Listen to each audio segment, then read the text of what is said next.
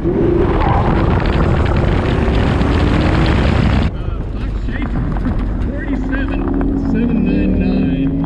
third place on your fifth and final run.